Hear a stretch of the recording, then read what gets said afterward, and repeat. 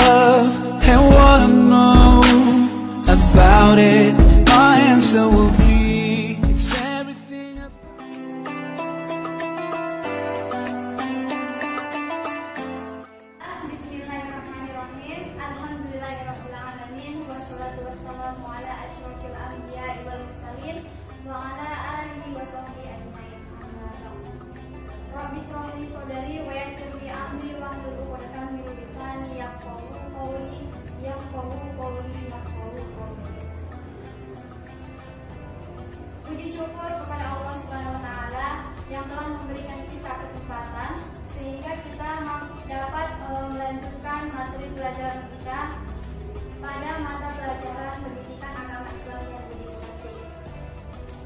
Kemudian salawat kepada Rasulullah dengan sama-sama kita melafazkan Allahumma sholli ala sayyidina Muhammad wa ala ali sayyidina Muhammad. Baiklah, di sini sebelum kita memulai materi kita pada hari ini, alangkah lebih baiknya kita membaca doa terlebih dahulu.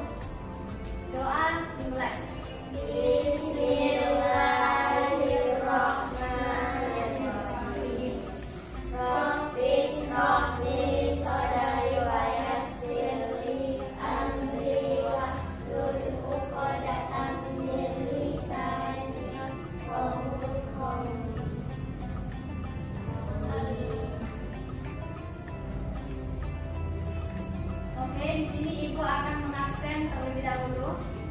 Umi Khadijah Nasutia hadir bu. Zahra Wahyu Rizki hadir bu. Nasila Ulfa Pulungan hadir bu. Zalfa Az-Zahra Hasibuan hadir bu. Nurul Kaila Rizki hadir bu. Sakinah Hasibuan hadir bu. Baiklah, di sini ibu akan membacakan KD dari materi pelajaran kita dengan yang berjudul dekat dengan Allah yang sangat indah namanya. Padanya pada satu titik tiga meyakini bahwa Allah maha mengetahui, maha waspada, maha mendengar, lagi maha melihat. Kemudian untuk KD 2.3 menghayati perilaku percaya diri, tekun, teliti, dan kerja keras sebagai implementasi dari makna Asmaul Husna yang mana dia Al-Alim, Al-Khabir, As-Sami, dan Al-Basyir. Kemudian untuk 3.3 memahami makna Asmaul Husna yaitu Al-Alim, Al-Khabir, As-Sami, dan Al-Basyir. Untuk KD 4.3 menyajikan contoh perilaku yang mencerminkan orang yang meneladani Asmaul Husna yang mana dia Al-Alim, Al-Khabir, As-Sami, dan Al-Basyir.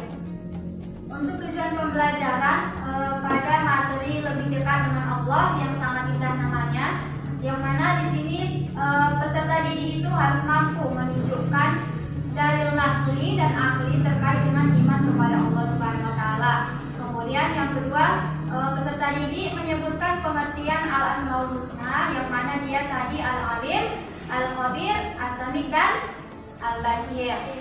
Kemudian Eh, yang ketiga menjelaskan makna menjelaskan menjelaskan makna Asmaul Husna yaitu Al-Alim, Al-Khabir, As-Sami dan Al-Basyir. Kemudian peserta didik mampu mengident- mengidentifikasi perilaku beriman kepada Allah. Kemudian melaksanakan perintah Allah atas dasar iman kepada Allah, mencontohkan perilaku yang mencerminkan keteladanan dan sifat Al-Asmaul Husna yaitu mana tadi Al-Alim, Al-Khabir, As-Sami dan Al-Basyir. Baiklah anak-anak ibu sekalian, yang mana tadi materi kita adalah lebih dekat dengan Allah yang sangat indah namanya. Yang mana dia ini materinya terbagi kepada dua. Yang mana yang pertama adalah iman kepada Allah.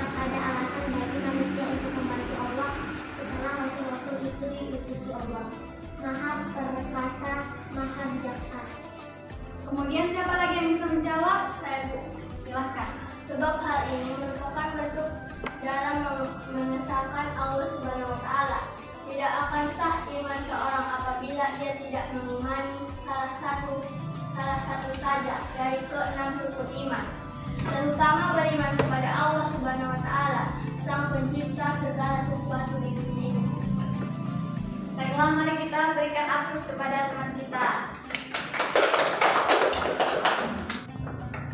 Uh, materi kita yang mana tadi Ibu akan menjelaskan iman kepada Allah. Nah, di sini uh, secara harfiah iman itu berarti percaya. Sedangkan menurut istilah dia e, berarti percaya dan meyakini dengan sepenuh hati. Kemudian yang kedua mengucapkan dengan lisan dan yang ketiga membuktikan dengan perbuatan. Tadi iman kepada Allah Subhanahu wa taala yang menjadi pembelah kita nanti di alam kubur itu ada tiga. Yang mana yang pertama itu adalah amal. Yang kedua siapa yang tahu? Sedekah dari jariah. Kemudian yang ketiga adalah ilmu yang bermanfaat. Baiklah di sini um, untuk lebih jelasnya ibu akan menampilkan sebuah video yang mana di sini ibu harapkan kepada anak-anak ibu semuanya untuk mendengarkan, menyimak dan mengamati video yang akan ibu tampilkan.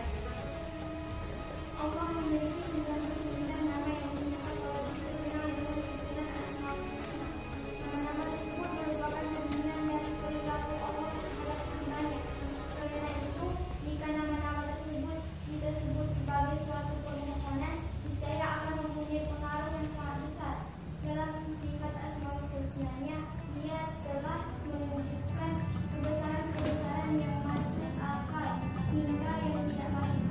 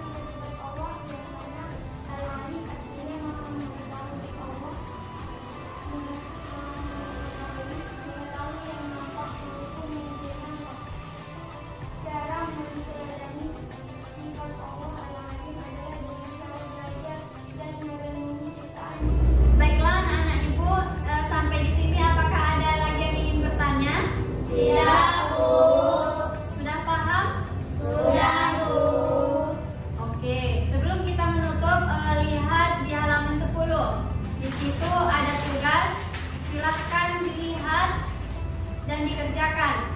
Minggu depan kita kumpulkan. Iya, ya, Bu.